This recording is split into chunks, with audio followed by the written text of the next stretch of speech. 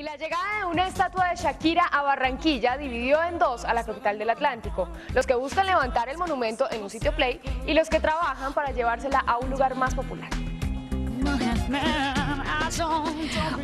Lugar ideal para ubicar la estatua de Shakira hoy es un dilema en Barranquilla, pues todo el mundo sugiere dónde es mejor instalarla, pero de la decisión nada de nada.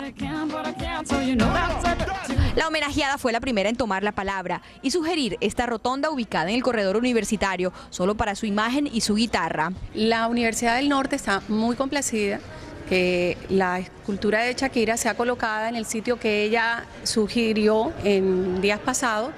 ¿Qué tal luciría la rubia acompañando el monumento al policía en la Plaza de la Paz o cantándole a este sagrado corazón? Nada descabellado para las autoridades culturales del distrito. Mira, en Barranquilla se baila así.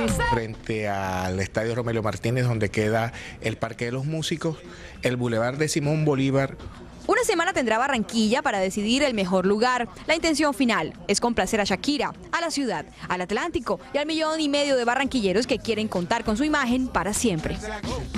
Bueno, y con todo este tema, obviamente Shakira habló sobre la polémica estatua que será levantada en su Barranquilla natal. La vi porque estuve en Alemania hace poco en un evento de la UNESCO y ahí estaba él. ¿Qué tanto se parece? pues es una obra de arte muy linda, la verdad. Este, es, es, expresionista y tiene un... Es, bidimensional, no es tridimensional, pero es, es muy, muy bonita. Bueno, debe ser súper raro que le hagan una estatua.